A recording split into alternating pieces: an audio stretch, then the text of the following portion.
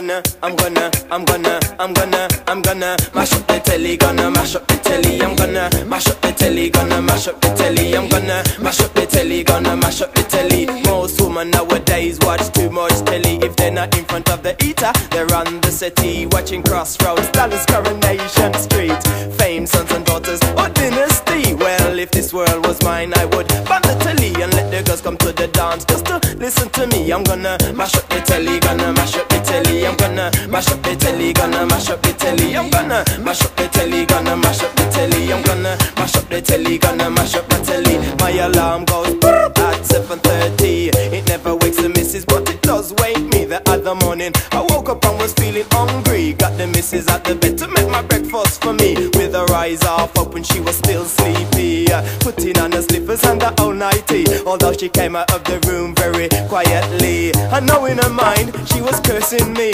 but I didn't give a damn. I was well hungry, sitting in the bed very patiently, uh, wondering what she was gonna bring for me. Either three shredded wheat or Rice Krispie, uh, sugar puffy or ready bricky, uh, wheat a big spot corn flaky. You like it? A cup of coffee or a hot cup of tea. I'm gonna mash up the telly, gonna mash up the telly. I'm gonna mash up the telly, gonna mash up the telly. I'm gonna mash up the telly, gonna mash up the telly. I'm gonna mash up the telly, gonna mash up the telly.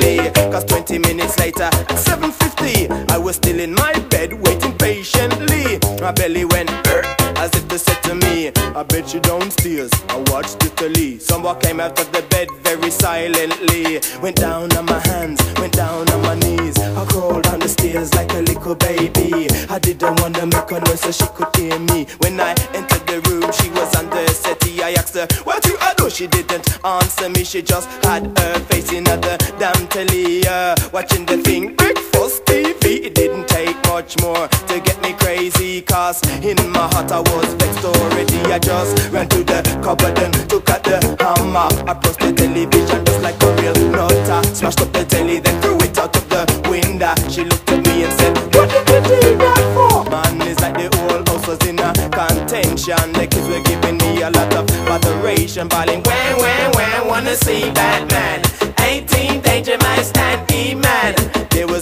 Way I could solve the problem, which was to catch a taxi down to rediffusion. Rent a telly, take it home, plug it in, turn it on. Then this is what I said to my woman. This telly that I've hired, I put it in your name. Any damage it receives, you are to blame. That means it's not my money, rediffusion's gonna claim. So the next time you get me vexed, oh what a shame. Because I'm gonna, I'm gonna, I'm gonna mash up the telly, gonna mash up the telly. I'm gonna mash up the telly, gonna mash up telly. I'm gonna mash up the telly, gonna mash up the telly. I'm gonna mash up the telly, gonna mash up the telly. I'm gonna